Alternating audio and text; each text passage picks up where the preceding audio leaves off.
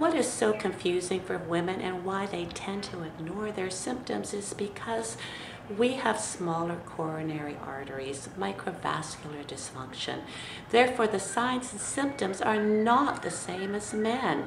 The classic, of course, is the pressure, the elephant on the chest, but with women, it is more vague.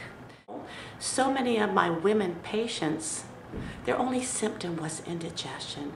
So, of course, we tend to ignore or look for other solutions. But it could be your heart.